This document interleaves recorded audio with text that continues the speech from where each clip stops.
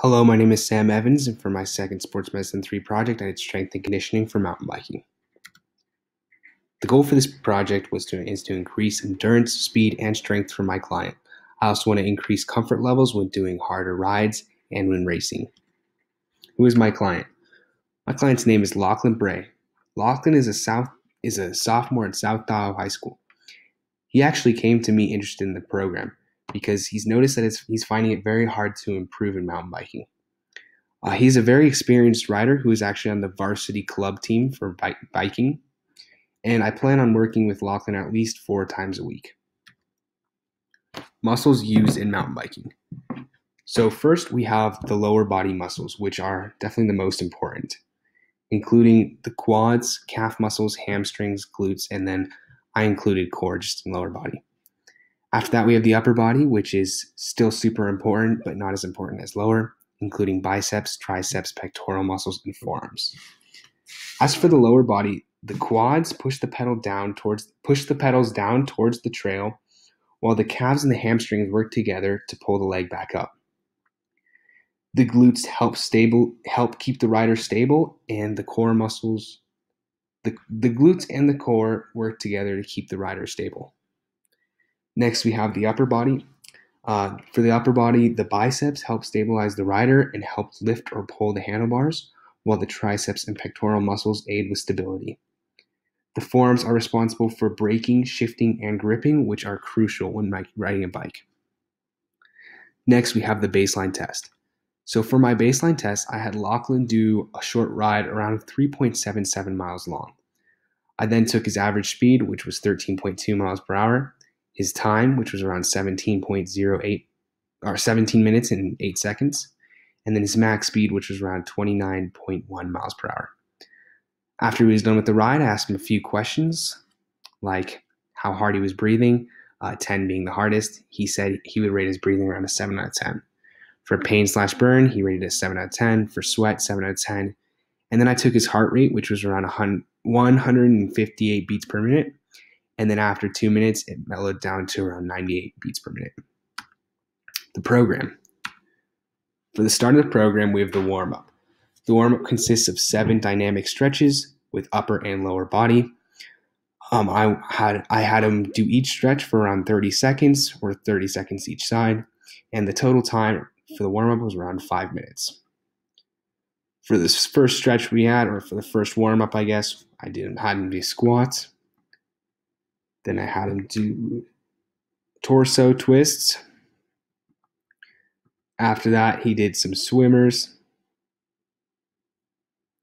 After swimmers, I had him do some scoops for his calves. After scoops, I had him do some quad stretches. Next, I had him do some side to side lunges. And then finally, he did some jumping jacks. As for the strength and conditioning portion, I made an interval training session, which basically just 30 seconds for each exercise and then 10 seconds off, trying to keep a fast moving pace. Um, after he's completed all six exercises, he takes a one minute break and then does this again two more times with a total of three sets. In the workout program, I put a lot of core, upper body, and lower body and then he's going to get a cardio exercise and an endurance exercise from just doing it in such a fast pace. Uh, the total time for the intervals training session was around 15 minutes. We started the exercise with um, some bicycle crunches. After that, I had to do some push ups to work on a little bit of upper body after the push ups, he did some squat jumps. After the squat jumps, um, I had him do a burpee with a tuck, which is also some cardio.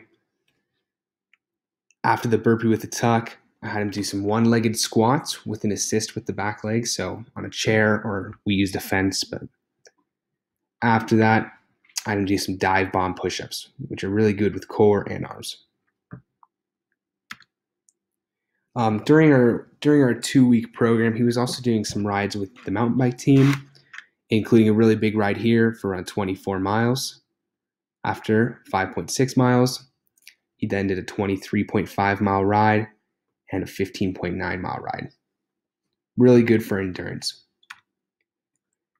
As for the before and after, here you can see our baseline test um, with the 3.77 miles with uh, 13.2 mile per hour average speed, 17 minutes and 8 seconds is how long it took him, and then a max speed of 29.1 miles per hour. And then his heart rate being 158 beats per minute, and after two minutes being 98 beats per minute. As for his ending ride, uh, his average speed was 13.9 miles per hour. So he actually gained 0.7 miles per hour on that. Um, as for his time, 16, 16 minutes and 7 seconds. So about a minute improvement, which is insane. Um, and then with the max speed of being 32.7 miles per hour, so he had a 33.6 mile per hour increase for the max. As for his heart rate, he had a 162 beats per minute, so a little bit more than the other one, but not by much. And then after two minutes, his heart rate went down by a lot, which just really shows improvement with um, cardio and endurance. And then for the average speed and the max speed and the times shows improvement in strength. Thank you for watching.